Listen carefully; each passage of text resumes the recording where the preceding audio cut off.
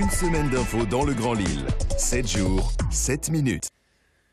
Bonjour à toutes et à tous, bienvenue sur Grand Lille TV en ce lundi 1er mai. L'info continue avec euh, tout d'abord pour célébrer ce jour férié, bien pourquoi ne pas aller se réchauffer du côté d'Oisem à Lille avec la 17e édition de la fête de la soupe organisée par la Louche d'Or, un, un rendez-vous interculturel dans les rues, même si la météo s'annonce peut-être peu clémente en ce lundi.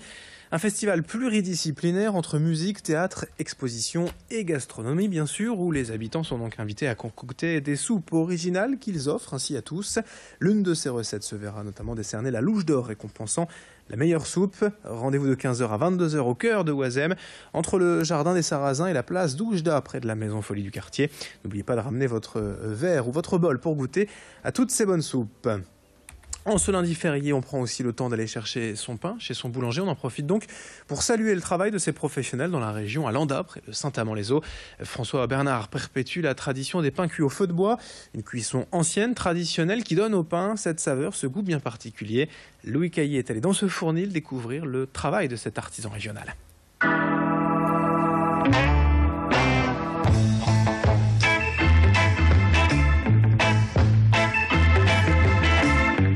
À Landa, la boulangerie Le Pain de nos ancêtres fabrique, pétrit, cuit et vend sur place depuis un siècle. Chaque semaine, ce sont 300 kilos de pain qui sortent du four. Aujourd'hui, une petite quinzaine d'employés se relaient jour et nuit pour faire tourner l'établissement. Une belle réussite et une fierté pour son gérant. C'est une boulangerie qui est centenaire. C'est la seule boulangerie du village. On a repris le flambeau euh, de la grand-mère. euh, Enfin, mon père a repris d'abord le flambeau de la grand-mère qui était dans les années 80 et moi ensuite avec, mon, avec mes frères. On fait que, que, perdurer la, tradition. euh. Et la particularité, c'est qu'on travaille tout au feu de bois et on pétrit encore à l'ancienne. Un pain un peu, plus, un peu moins développé et avec plus de goût, oui. une texture différente. La production du, du- de la journée commence le- la veille au soir. En fait, on a toute la nuit euh, pour. euh, on travaille 24 heures sur 24. Voilà. À part le lundi. Hein, jours, nos jours de fermeture le lundi. Et tous les matins, on a un camion qui part faire les livraisons, en effet, sur euh, la région lilloise. ouais. Seul point négatif pour François, concilier sa passion à sa vie de famille. C'est toujours compliqué. euh, mes enfants sont toujours en train de réclamer, euh, comme quoi on ne fait jamais rien, quasiment rien en famille. C'est côté négatif, mais bon, euh, voilà, c'est le métier qui veut ça. Ah bah, c'est l'amour du, bon métier, hein, ça, c'est la première condition. hein. Si on n'aime pas ce qu'on fait, j'aime mon métier, voilà. Avec quelques images également dans cette édition du 1er mai pour vous faire découvrir peut-être l'avenir du collier pour chien, un produit connecté développé ici dans la métropole lilloise à Eura Technologies. Il s'agit d'un collier intelligent permettant de comprendre et d'analyser le comportement de son chien. Le collier est en fait relié à une application mobile sur téléphone et il est donc capable de savoir si le chien a mangé suffisamment de croquettes, s'il a dormi ou encore s'il est malade. Son activité physique est, est elle aussi étudiée, pratique lorsque l'animal reste seul quand les propriétaires sont au travail. Cette start-up lilloise a travaillé en concertation avec des vétérinaires comportementalistes et des propriétaires de chiens pour développer son produit. Le collier a été présenté en janvier dernier au Salon de l'innovation à Las Vegas pour un prix de vente estimé à l'avenir à 229 euros. Présentation au micro d'Idil Gunaï.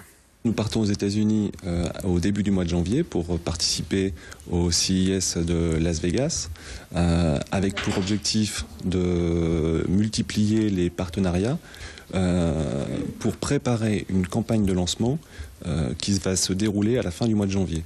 Les clients, comme vous et moi, vont pouvoir précommander le produit qui sera livré le 15 avril au prix de 229 euros, euh, un prix qui est tout inclus, c'est-à-dire que vous n'avez pas d'abonnement particulier en complément euh, du, prix du produit.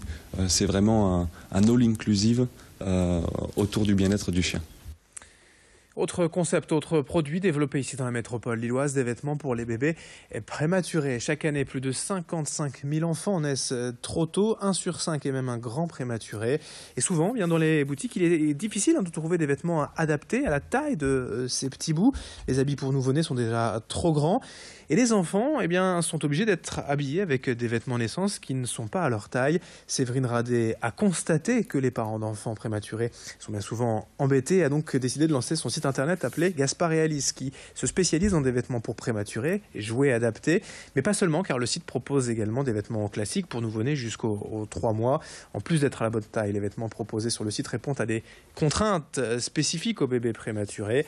Le site internet est, est donc déjà disponible Céline Huret a rencontré la créatrice de cette entreprise. On a fait quelque chose de volontairement très très visuel et très facile euh, euh, à, à, comprendre pour que justement euh, les parents se, tout de suite se, se, repèrent et puissent très facilement trouver les, les produits dont ils ont besoin.